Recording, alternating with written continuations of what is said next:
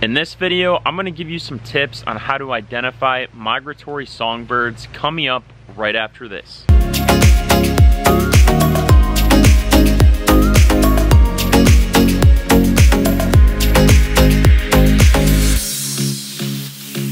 Hello guys, I am back, Adventure Ed, as you guys know me on YouTube. Uh, by the way, in case some of you didn't know, my real name is Eddie, my nickname. Actually, my formal name is Edward, but you can call me whatever you want. Yeah, I have posted barely any content in the past six months, and maybe some of you are wondering why, and uh, just begs the question, where have I been?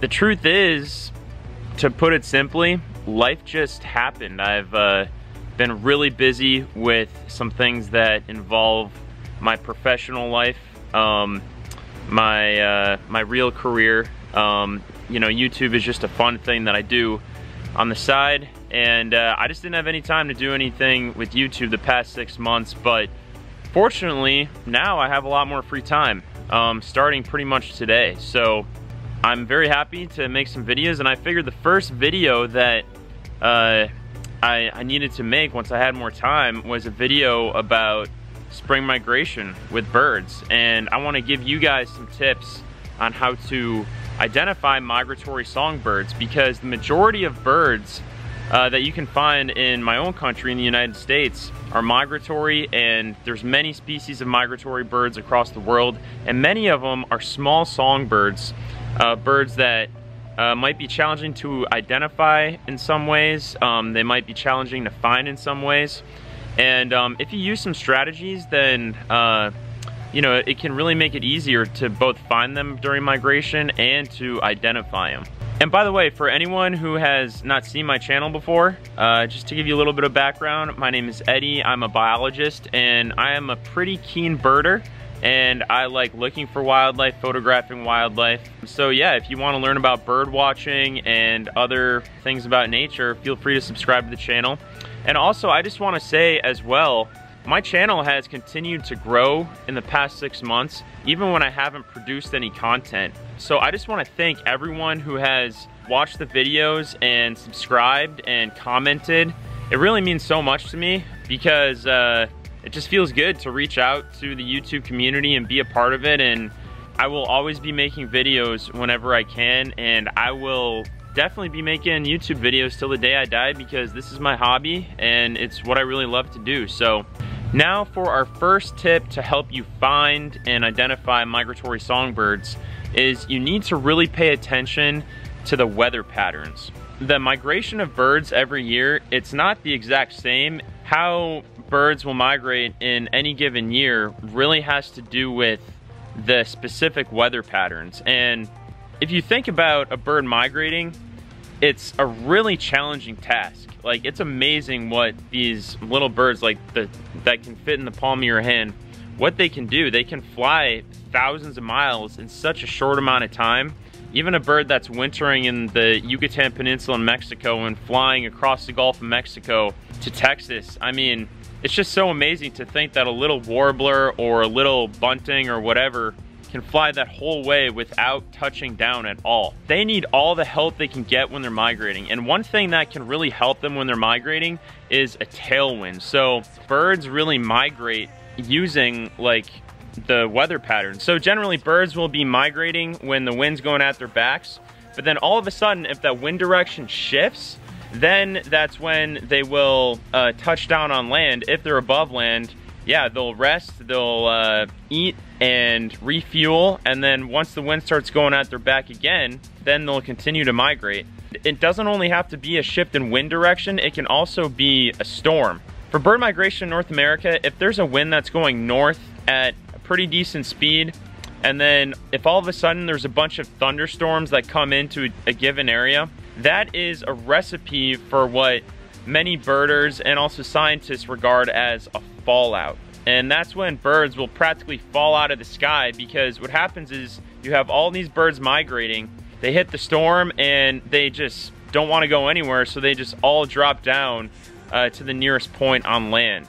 So let's say you're trying to decide which day you want to go birding and you have an option to choose a day out of the week. Well, if there's a day where there's a southerly wind, so that means a wind coming from the south, the next day there's like a storm system that's just to the north of you, then maybe the day after that storm system comes through, would be a good time to go birding or maybe like on that same day but like later in the afternoon.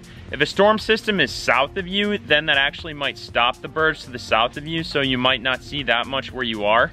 But this long explanation leads me to my next tip, which is just to go onto this website that Cornell has. Um, they call it the Cornell Birdcast, where real scientists use the weather patterns and all of their knowledge about bird migration. They're experts, they're expert scientists on bird migration. They put out um, a forecast about bird migration and it's, I guess, probably the best forecast that anyone could do on bird migration because they're experts. So you actually don't really even need to do that much research into the weather yourself. It's really interesting. And by the way, I'll put that website in the link below this video.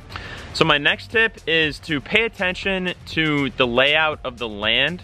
Oftentimes places on coasts, if there's like a patch of suitable habitat, patch of suitable migratory stopover habitat on a coast, that might be a really good place to see migratory birds when they're stopping to take a rest. Some examples of these places are Cape May in New Jersey, High Island in Texas, and uh, Point Pelee, which I believe that's what they call it, which is in Canada. I've never been there but I hear it's an amazing spot. I'll just use High Island in Texas as an example. What happens is you have all these birds migrating uh, over the Gulf of Mexico uh, from the Yucatan Peninsula. When there is a change of direction and wind, then they're gonna stop down most likely at the first piece of suitable habitat that they see.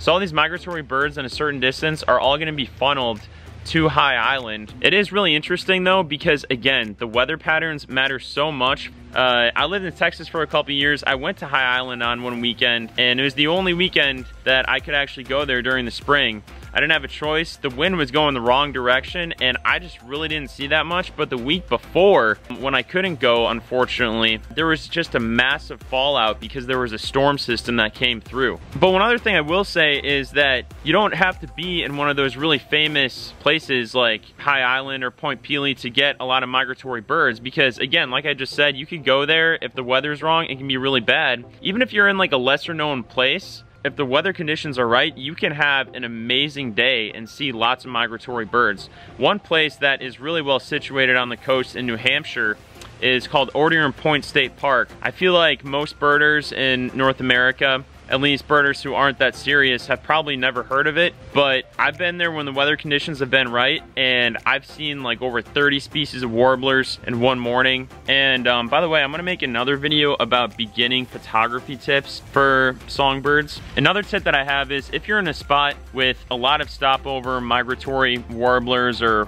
whatever, use the sit and wait strategy with birds because oftentimes if you're approaching a songbird, it'll fly away. However, with migratory birds that are just stopping in a location and refueling to go migrate somewhere else, while they're, you know, in that stopover place, they're probably really exhausted. Oftentimes, they're just not as alert, they're not as skittish. A lot of times it's just easier just to stay in one place, stay still. Because they're not as alert, they'll often just come to you. There's been times when I've had warblers just kind of hop right up to my ankles and that's pretty darn cool. So my next tip is one thing that you should know uh, when you're identifying migratory songbirds is you should know how to identify the females. Most species of migratory songbirds have sexual dimorphism and the male is clearly the more attractive one usually. Many people are so focused on the males, photographing the males that they just forget about the females. What could happen is that you could have a female warbler in migration and not have another male around. Um, again, I keep on saying warblers, but you know, any other type of migratory songbird, you might actually see a species and miss that identification that um, which you actually should have gotten it if you would have paid more attention to the female. And this is kind of along the same lines, but also remember that juveniles might look significantly different. So just remember that you know how to identify them as well. Now the next thing I will say is it's really good to get out first thing in the morning with songbirds especially.